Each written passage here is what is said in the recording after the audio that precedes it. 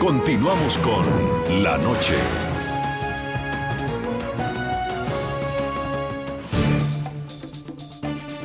La izquierda latinoamericana acude con bajas importantes a la Asamblea General de Naciones Unidas. Aunque se esperaba que el presidente Daniel Ortega respondiera a las acusaciones sobre el expansionismo de Nicaragua contra países vecinos, él prefirió enviar a su canciller Samuel Santos a la ONU. Lo mismo hizo Rafael Correa, quien había pedido una protesta unánime contra Estados Unidos por la supuesta restricción de su espacio aéreo al mandatario venezolano Nicolás Maduro.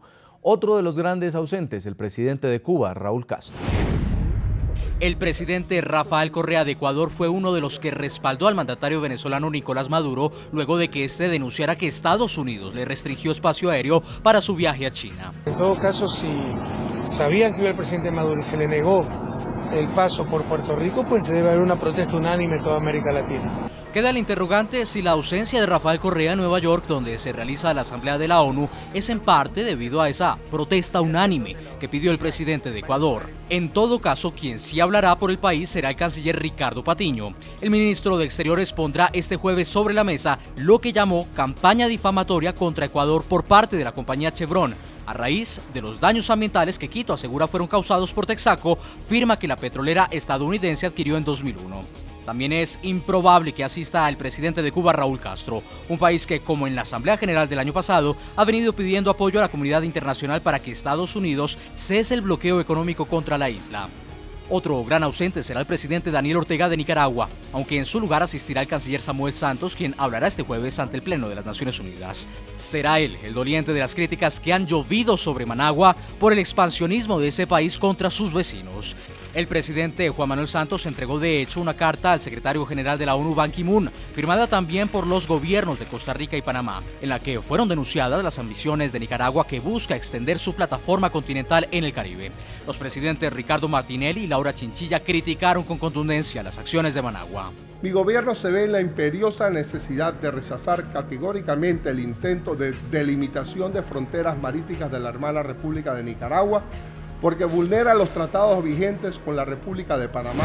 Su desdén pone de manifiesto la urgente necesidad de que se establezcan procedimientos para garantizar el acatamiento de todas las decisiones que emanen de la Corte, incluidas las decisiones de medidas cautelares. En nuestros estudios en Washington, Jaime Aparicio Otero, ex embajador de Bolivia en Estados Unidos, los presidentes de Ecuador y de Nicaragua han confirmado que no asistirán a la cita y han enviado en su lugar a sus cancilleres. ¿Por qué Correa en eh, particular y por qué Ortega habrían decidido no asistir?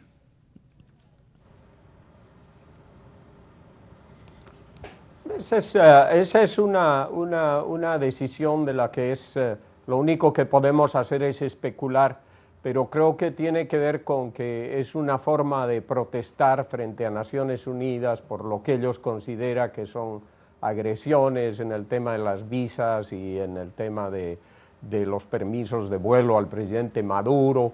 E, es una forma de ser, pero por otro lado tampoco ven, me imagino, mucha utilidad en este momento donde la atención mundial está concentrada en los temas de Irán y Siria, de ir ahí para que esto no tenga ninguna repercusión salvo, salvo interna. Por tanto, no yendo eh, llaman más la atención que yendo, yo creo, y por eso han decidido que los represente el presidente Morales, que se presta a cualquier cosa pública y que puede decir también cualquier cosa, para que lo represente. Yo creo que básicamente tiene que ver con, y el propio presidente Maduro. Primero que no está Chávez, eh, que era una figura que llamaba la atención para bien o para mal, pero era un, líder político. Y segundo, porque la, eh, la atención internacional está en otra región, está completamente concentrada en lo que pase con Rouhani, con Obama, con Irán, y cómo se desarrolla el tema de Siria con el auxilio del acuerdo este de la Unión de Rusia y de, Estados Unidos.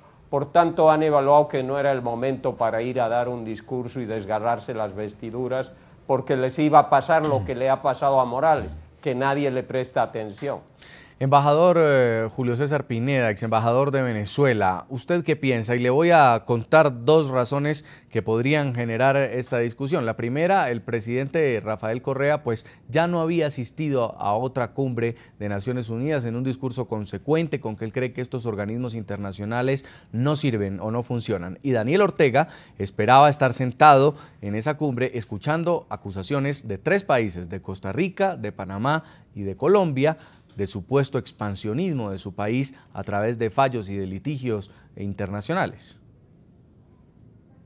Mire, yo acabo de estar la semana pasada reportando para Globovisión en Líbano sobre la guerra de Siria y veíamos cómo la opinión mundial está concentrada en Siria, porque es un problema de las armas químicas, el tema de Rusia y China, los Estados Unidos, la situación de Irán que apoya a Siria precisamente y ahora el nuevo diálogo de Rouhani con Barack Obama. Aquí la vedette de esta Asamblea General, y lo vimos hoy, acabo de estar hace una hora y media oyendo a Evo Morales y cuando salía veía todos los periodistas siguiendo a la delegación iraní. O sea, realmente el centro de atención, América Latina pasa a segundo lugar y menos cualquier política radical de izquierda de América Latina. Así que eh, a esta Asamblea eh, General de Naciones Unidas, que es la 68, son otros los temas mundiales.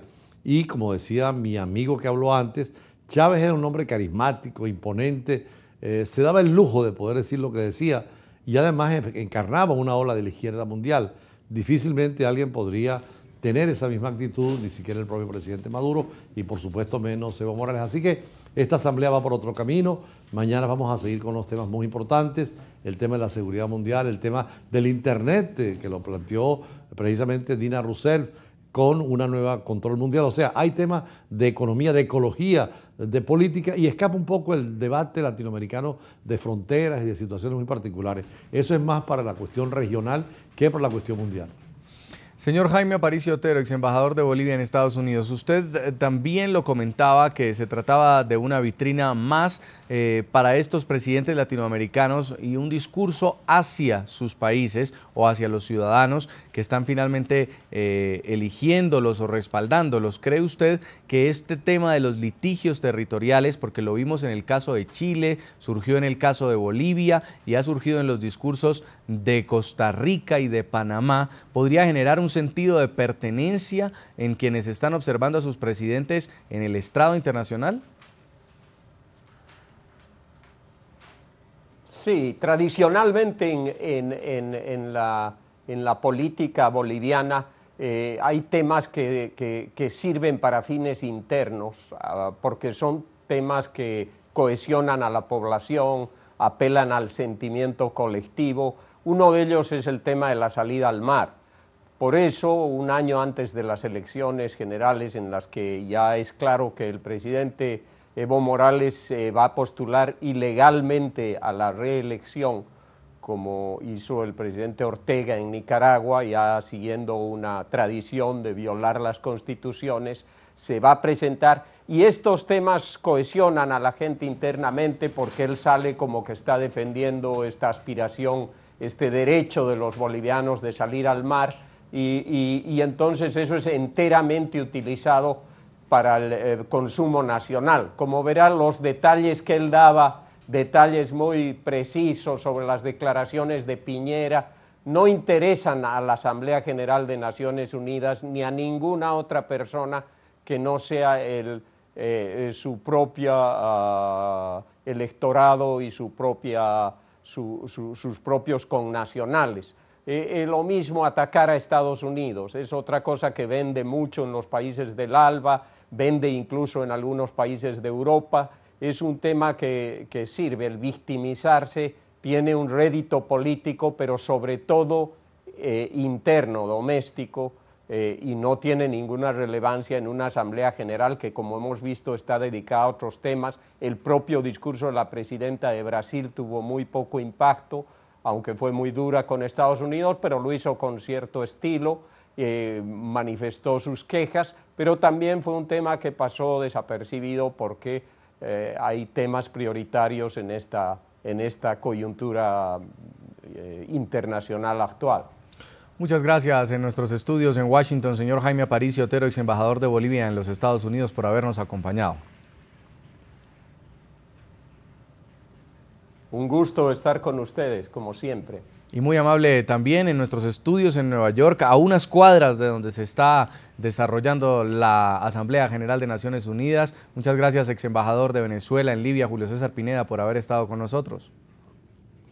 No, además tuvimos la oportunidad de estar dentro de la Asamblea General en razón de nuestra actitud o anterior cargo de embajador y un agrado conocer los estudios de ustedes en Nueva York porque es un canal NTN, además eh, trabaja mucho con Globovisión y siempre nos permite mayor información internacional. Así que buenas noches a todos los oyentes. Un abrazo, embajador. Buenas noches. Y a todos nuestros televidentes los invito a que nos envíen sus comentarios a www.ntn24.com. Escriban en Twitter a arroba ntn24, también a arroba segurisatintn24 y a arroba Jason Calderón. La noche seguirá encendiendo las luces para que usted vea el punto clave de la noticia. A todos que pasen muy buena noche.